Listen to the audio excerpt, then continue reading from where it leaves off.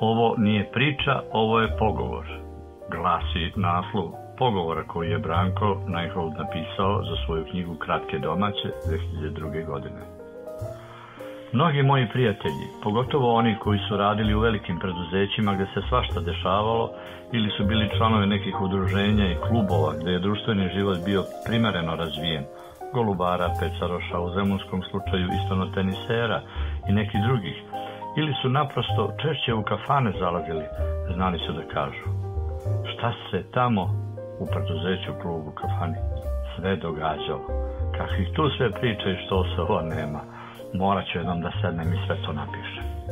Ne znam, međutim, da je iko od njih išta slično napisao, ne zato što su lenji bili, mada ima i toga, ili što im pisanje baš od ruke nije išlo, mada i toga ima, već pre svega što je tako nešto veoma teško napisati. Ono što je određenoj grupi ljudi u određenoj situaciji duhovito i zanimljivo, ne znači da će interesantno nekom drugom biti. Dalje, za neke priče veoma je bitno znati lično aktere i barem one najbitnije crte karaktera njihovog, a ponekad i sam fizički izgled, dok u drugim slučajevima to apsolutno bitno nije. Onda, što se neki događaj više prepričava, on se menja, jer se uvek nešto ili doda ili oduzme, bilo zbog slabosti pamćenja ljudskog, bilo iz želje da se unese više dinamike i duha, što reče jedan moj rođak. Ma, znam ja da nije tako bilo, ali ovako kako sam ja ispričao je zanimljivije. Da ne dužim dalje, pojedinačne događaje anegdotskog tipa teško je pisati, uz još jednu istinu, što je priča kraća, piscu je teže. S druge strane, međutim, mnoge priče ovog tipa vredne su pamćenja, jer kroz njih se na svojevrstan način ostavlja i svedočanstvo o duhu jedne sredine, od male neformalne grupe prijatelja do čitavog nasilja. One se do duše određeno vreme pamte i usmenim prenošenjem, nekada čak i, do, i kada direktnih svedoka više nema, no pre ili kasnije nit se prekida i događaj odlazi u zaborav. Samo ono što je zapisano ima nadu da zaborav izbegne. To je i bio razlog što sam se pisanje ove knjižice latio. Želja da se od zaborava otrgnu neke priče koje bi pre ili kasnije tamo dospele.